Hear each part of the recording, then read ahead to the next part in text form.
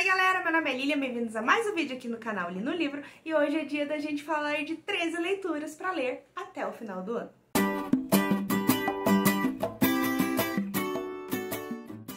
Excepcionalmente no dia de hoje eu estou lançando um vídeo aí na sexta-feira. Geralmente aqui no meu canal eu lanço uma resenha ao longo da semana e no sábado sai um vídeo aí um pouquinho mais aí pra descontração. Só que, eventualmente, essa semana eu não consegui lançar uma resenha, acabei aqui na correria não, não dando tempo. E decidi, então, trazer um vídeo aqui na sexta-feira pra compensar, então, não ter lançado na quarta, então já que ia sair no sábado, adiantei um pouquinho. Porque, né, não é porque você errou na primeira vez que você não pode compensar na segunda. Mas antes da gente falar, então, dos livros em si, eu queria pedir pra você se inscrever no canal Li no Livro, da Lilian, e também curtir, compartilhar, ativar o sininho pra sempre receber notificações quando tiver vídeos novos aqui. E também, se você se interessar por algum desses livros, compre com o meu link, que ajuda bastante o canal.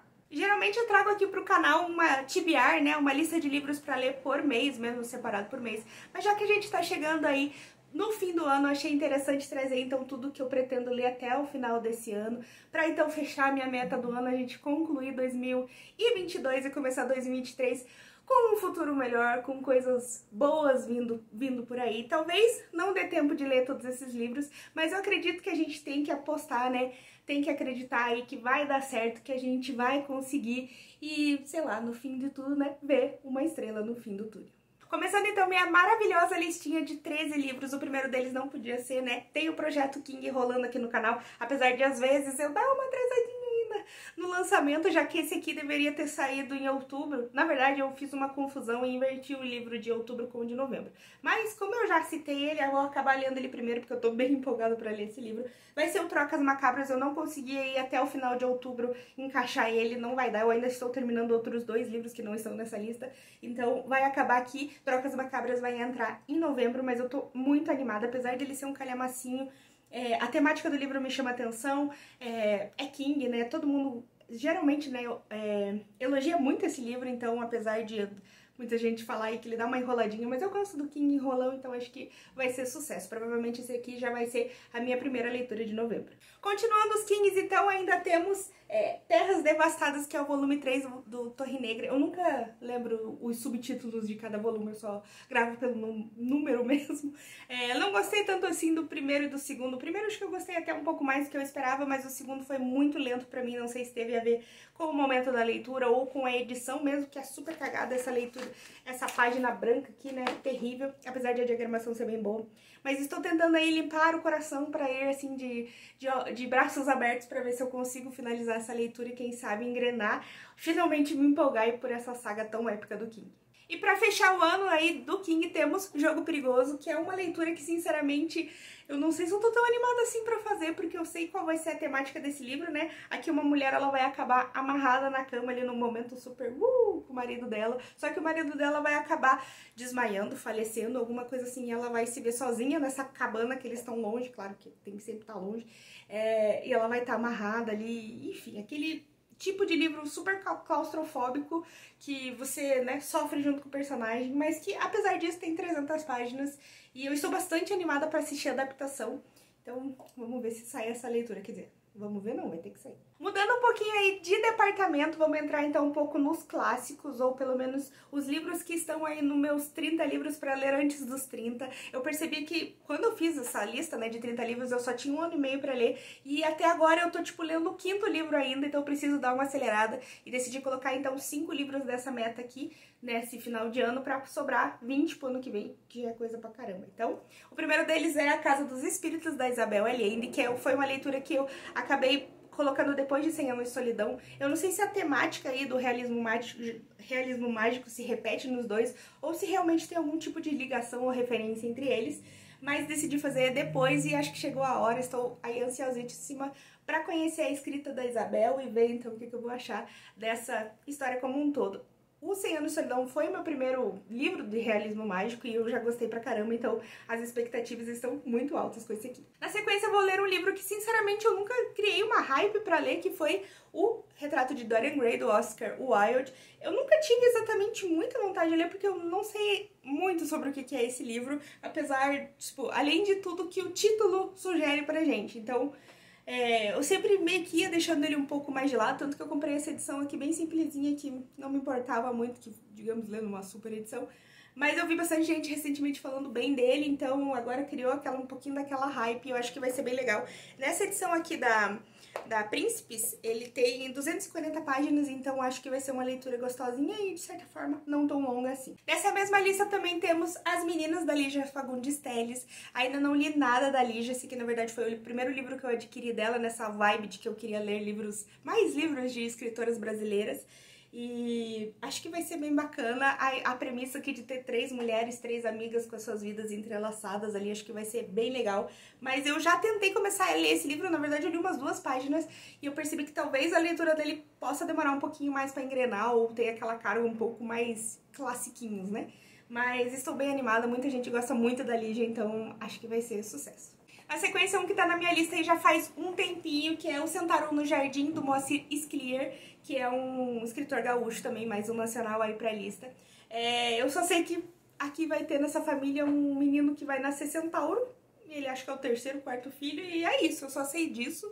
E acho que vai ser bem interessante, acho que vai ser bem legal também. Muita gente elogia a escrita do Moacir, então Vamos ver o que vai rolar. E é um livro pequenininho também, tem 220 páginas aqui nessa edição de, da Companhia de Bolsa, que a letra não é muito grande, mas acho que ainda assim vai ser uma leitura bem legal. E para fechar essa lista de classiquinhos, e na verdade são livros, todos esses livros estão no Mil e Um Livros para Ler Antes de Morrer, né? Eu chamo de clássico porque tá lá pra mim já é clássico, né?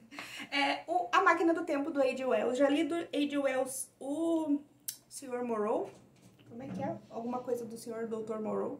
É, e foi bem legal a, a, toda a leitura, assim, achei bem interessante. Tem uma pegada, uma escrita um pouco mais densa, eu achei, assim, não, é, não chega a ser difícil, mas dá aquela impressão de realmente, né, foi escrito há bastante tempo. Mas foi bem legal e eu tô bem curiosa porque sobre a Máquina do Tempo eu não sei quase nada também. Eu nem li a sinopse, é, ao contrário dos outros livros dele que geralmente tem adaptações, não que sejam fiéis, mas de alguma forma você já conhece a história, essa aqui eu não sei nada. E além disso, tem apenas 112 páginas, então acho que vai ser uma leitura, assim, bem rápida. Afinal, as leituras têm que ser rápidas, né? Pra caber três livros aí em dois meses pra uma pessoa que até agora leu 40 e poucos. Mas enfim, a esperança, né, é a última que morre. Para superar o trauma do meu último dezembro, né, do, dezembro de 2021, foi um mês de leituras terrível, porque eu acabei lendo o Talismã do King, que não rendeu pra mim, eu não gostei da história, e acabou aí empapuçando tudo minhas leituras, não rendeu nada. Eu decidi escolher então agora, para fechar essa lista, outros cinco livros que eu acho que são livros ou mais chuchuzinhos de ler, ou mais engraçados, ou mais rápidos, ou leituras que eu quero muito ler. Então vamos trazer aqui para vocês. O primeiro deles é A Escola de Contos Eróticos para Viúvas, né? Eu não sei nem o nome da, da autora. Abali Kaur Jaswal. Né? Não deve ser assim que fala, mas enfim, né? É, sei muito pouco dessa história também, além de que eles são, acho que, imigrantes indianos, né? Ou a família dela, os pais, imigraram para os Estados Unidos. E vai trazer aí todo esse conflito de culturas. Além, claro, desse toque aí de um pouquinho de, sei lá, acho que deve ter humor, né? Pelo próprio título. Então, de qualquer forma, um livro de 300 páginas, daquele estilo chuchuzinho, que eu acho que vai rolar super bem. O próximo é um livro que eu já coloquei em tibiário aqui nos meus meses, mas acabou não encaixando e eu ganhei de presente do Arthur, que foi A Última Livraria de Londres, que vai trazer aqui durante a Segunda Guerra Mundial uma menina que trabalha numa livraria, tiriri, tcharará. Já esqueci, na verdade, a sinopse. Até gosto de esquecer, né? Porque vai me trazer mais surpresas. Acho que é um livro bem legal, já vi outras pessoas falando. Assim, a nota dele é bem bacana no Scooby, então acho que é aquela leitura que também vai aquecer o coração. E tem aí suas 240, 50 páginas, então uma leitura que realmente espero que flua bem. Outro que talvez eu já tenha colocado numa tibiária aqui, mas eu acho que eu devo ter colocado de muita boa fé, porque eu nem lembrar, eu nem lembro se eu realmente coloquei, que foi o Vivendo nas Entrelinhas da Gir Cirqueira. É, essa parece ser um livro bem chuchuzinho, bem legal, o pessoal elogia bastante também. Outro livro que tem aí suas 200 e... É, 250 páginas também, então acho que um tamanho assim de livro que realmente, geralmente vai muito legal, porque embala rápido e você se, se empolga, né, e se emociona para terminar, ao contrário, às vezes, os calhamaços que demoram um pouco mais aí pra gente se emocionar na história. Então tô bem apostando que vai ser uma leitura super clima fim de ano, clima de Natal. Um que veio aí no Clube Intrínsecos e que eu vou passar na frente desses monte aqui, ó, de que tem as bolinhas, as bolinhas são os que eu não li, tá? E vou passar na frente dos do clube porque eu achei muito legal a premissa, é Disquete para titias, né, que vai trazer aqui uma coisa super humor, super divertida, que é, no caso, uma moça que vai acontecer alguma coisa no encontro dela e o, o date dela vai acabar falecendo e ela vai se ver numa situação ali desesperadora e ela vai entrar em contato então com a mãe que vai chamar essas tias, as tias metidas, que vai e vai virar aquela famosa confusão assim. Então, bem interessante, bem legal, tem uma carga aqui cultural aparentemente bem legal, aparentemente bem legal. Eu não lembro exatamente da onde que a família dela é. Não lembro se é chinesa, se é coreana. Eu não vou lembrar, eu não tô conseguindo achar aqui. Mas enfim, bem legal, bem bacana. Deixa eu olhar aqui agora. Ai, mentira, ela é da Indonésia. Eu lembrava que era de algum lugar. Então vai trazer essa carga cultural também, como outro ali. Estou bem interessada, acho que vai ser aquela leitura bem divertida e bem rápida. E pra fechar essa lista, um livro que eu acho que talvez não seja tão rápido assim, porque é uma, uma carga assim bem mais pesada, que é o Fique Comigo da Ayobami Adebayo. Eu sempre falo assim, não sei se é assim que se pronuncia. Mas a princípio eu acho que vai ser uma coisa bem legal, acho que vai ser uma coisa bem legal não, vai ser uma coisa bem enriquecedora, mais um com carga cultural bem legal, uma, uma um lugar muito diferente, né, uma cultura, uma religião, enfim, costumes tão diferentes. E eu acho que esse livro aqui é aquele tipo de livro que é um soco no estômago pra gente entender que tantas pessoas vivem realidades tão diferentes. E eu sei que não vai ser fácil, porque aqui a gente vai ter um... um é, uma mulher que ela se casa ali com o marido, eles se amam muito, só que ela acaba não conseguindo ter filhos e a família começa a pressionar o marido dela para então ter uma segunda esposa, né? E dentro daquele, daquela cultura que permite você ter mais de uma esposa. E então vai ser pesado, vai falar sobre maternidade, vai falar sobre várias coisas. Mas eu acho que é uma leitura que eu tô aí empurrando faz bastante tempo. É um livro que eu tenho muita curiosidade de ler.